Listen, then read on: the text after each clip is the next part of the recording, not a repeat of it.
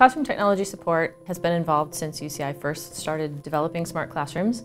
Now with the establishment of the Division of Teaching and Learning, there's more of an emphasis on the scholarship of teaching and learning and evidence-based approaches that say, how do we know the students are actually learning and how does the space impact that?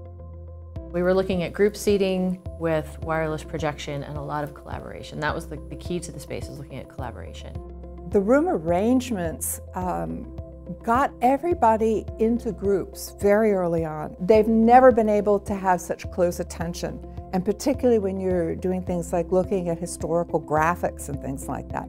It's hard to see that on a television monitor that's really far away. Really, from the first day, to my surprise, I just thought, well, I'm not so sure about all of this technology, but I really like the room. But once I went in and the students were there, I really enjoyed the space. It's expansive.